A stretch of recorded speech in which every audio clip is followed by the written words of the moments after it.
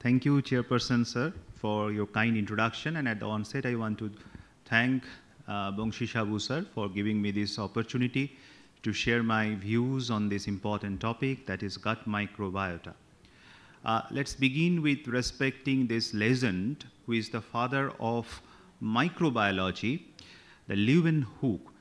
He had first time discovered the microscope and he had given us the first time the picture of gut microbiota. Rather, this was published in uh, that time good uh, reputed medical journal, the plaque isolated from his own teeth, moving, and that was, they give the name like little animal animalculus. So let's respect him. And now we know that we have these facilities. Uh, we have scanning electron microscope. We can see on top of some mucus uh, the, mic the microbiome is sitting. We need to understand that in us, uh, when we are talking about us, it is multiple. Actually, it is not I, it is we. And uh, there is more bacterial cells than human cells. Initially, it was thought like that 10 is to 1, but now the counting little bit changed, but they are actually predominating. And most importantly, we had almost 1,000 of bacterial species.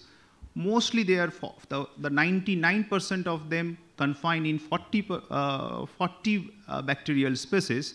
But the important things to note is that they have 2,000 genes per species. So all over almost 2 lakh uh, genes. So that is almost 100 times the figure that is approximate to around, which we know we, we have around 20,000 human genes.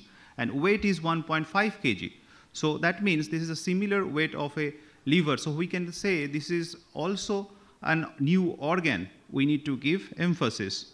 Mostly they are firmicutes, almost 60 to 80%. We have bacteroidetes, that is 20 to 30%, and there are other group of bacteria too. We know our art follow the rule of uh, unity in diversity.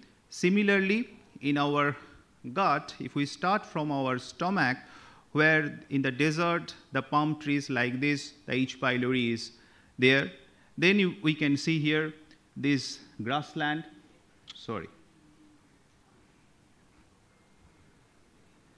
So this grassland, which is like the upper part of the duodenum, we have almost 10 to the power 2 to 10 to the power 3 of microbes. Then we have a beautiful uh, pine forest that is in the ileum.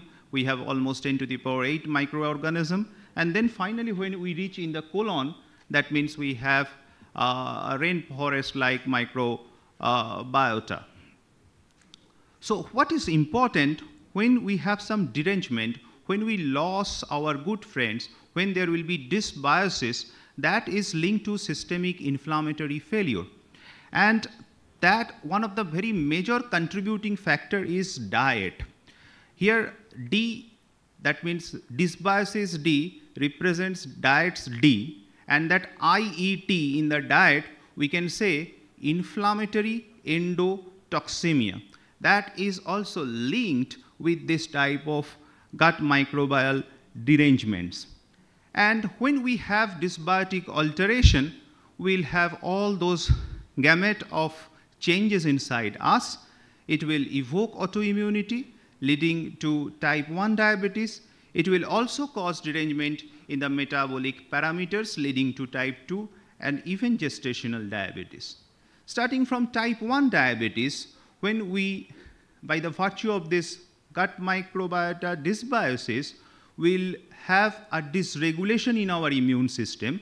So ultimately what happened, the handshake between antigen presenting cell and those T naive cell, that handshake results will cause some disasters and that will cause some atrocious outcome in terms of lots of cytokine that cause type 1 diabetes. So apart from that, if we have dysbiosis in the gut, that will lead to leak gut syndrome, again that disposed to type 1 diabetes. And this is a very interesting paper published in Nature Communication, which had clearly shown the gut micro microflora of the type 1 diabetes was a causative factor in the regulation of glucose metabolism. And that also had shown how the type 1 diabetes patient showing reduction in their butyrate producing bacteria and overall the lipopolysaccharide in their system that becomes rhizin that causes endotoxemia and ultimately they will have islet cell disruption. And they also translated those uh, microbiome in the rat model and had induced similar type of pictures in the rat like we got from the streptozocin-induced type 1 diabetes model, even the antibiotic-treated mice model. So this paper clearly had shown how the gut microbiota is important for development of type 1 diabetes. And there was another study with Mediterranean diet that had shown how introducing Mediterranean diet improved the quality of gut microbiota and that increased the short chain fatty acid level and decreased the trimethylamine N oxide and that for, therefore that will lead to some ameliorating effect that cause some reduction in the inflammation and the type 1 diabetes related cardiovascular disease event become lessened. There was another study in type 1 diabetes rat model that had shown this probiotic lactobacillus johnsonii had shown uh, inhibition or delay in the onset of type 1 diabetes.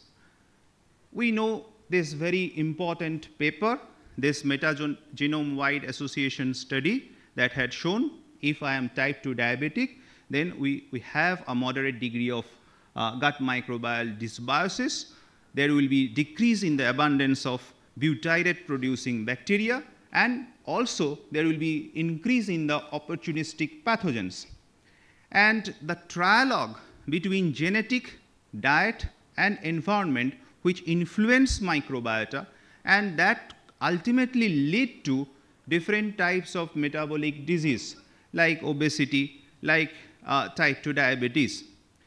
And if we want to understand this complex picture of gut microbiota and inflammatory interface, then we need to understand if we have more dietary fiber, we will have more production of short chain fatty acids.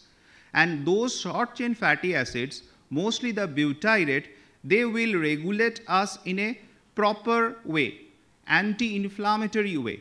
And they will also increase the mucin production, so there will be a protection in the epithelium. But what happens if we lose our good friend, if there is loose in the balance between those short chain fatty acid developing bacteria, so ultimately we lose the system, we will have more branch uh, chain amino acids inside us, our bile uh, that is not being metabolized properly, and we will have lots of cytokines like TNF alpha, interleukins, and gamma. So this is important to understand the complex association between gut microbiota and type 2 diabetes and how the diet, lifestyle, anxiety, stress, all those influence and make our gut microbiota from symbiont to pathobiont. And how if we lose healthy gut microbiota, so ultimately we will have more uh, leaky gut, we'll have endotoxemia, more cytokines who are pro-inflammatory, and therefore that will lead to adiposity, insulin resistance, more caloric intake, so vicious cycle will be there. So they also regulate our brain. So ultimately we'll have a metabolic disease tsunami. So again, when we talk about complications associated with type 2 diabetes, one of the major uh, complication is cardiovascular disease uh, like atherosclerosis. We can see how disruption in the gut microbial composition can lead to this uh, horizon of cardiometabolic disease. For an example, if we have more lipopolysaccharide level inside our system, that will lead to those endotoxemia, uh, uh, un unnecessary upregulation of those toll-like receptors and lead to endothelial cell damage, foam cell formation, vascular inflammation, insulin resistance, all leading to atherosclerosis. And if we do not have appropriate short chain fatty acid, like if, if there is not proper balance between butyrate, acetate, and propionate, that also lead to exaggerated sympathetic activity. So very balance between parasympathetic and sympathetic nervous system we lose.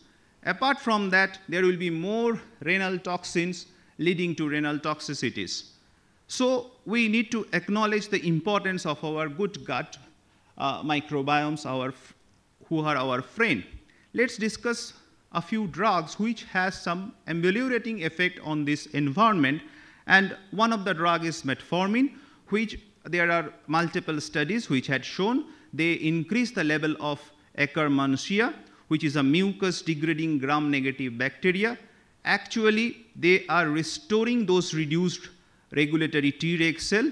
So the exaggerated pro-inflammatory cytokines will be decreased and we will have less insulin resistance. And there are multiple studies which had shown this beneficial effect of metformin. This is again an important, there are certain species which being elevated post-metformin therapy, they are responsible for hydrogen sulfide production, which actually protective for us, anti-inflammatory for our gut.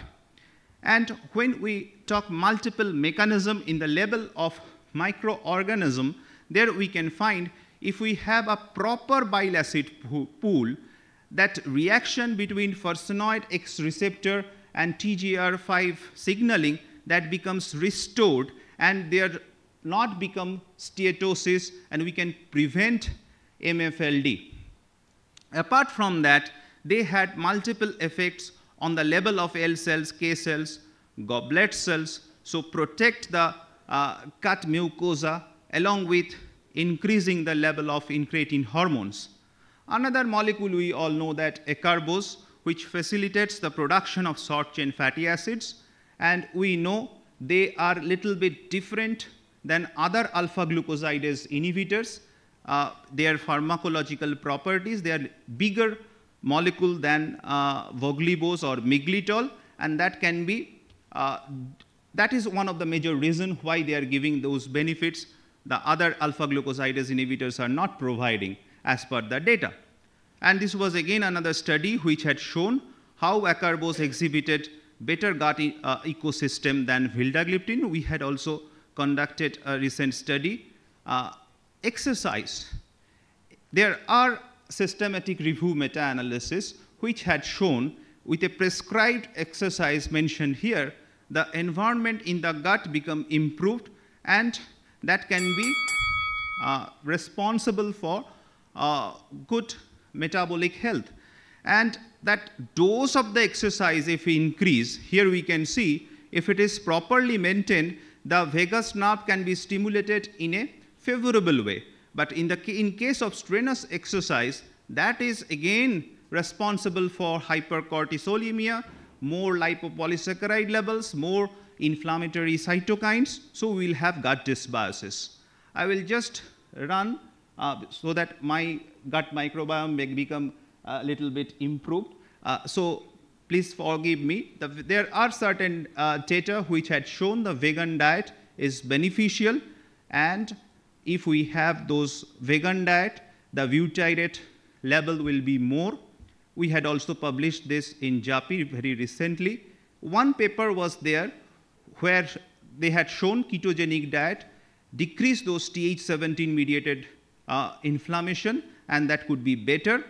Probiotic, there are certain systematic review meta-analysis shown to be beneficial, but not in quantum of HbA1c reduction, fasting PP reduction.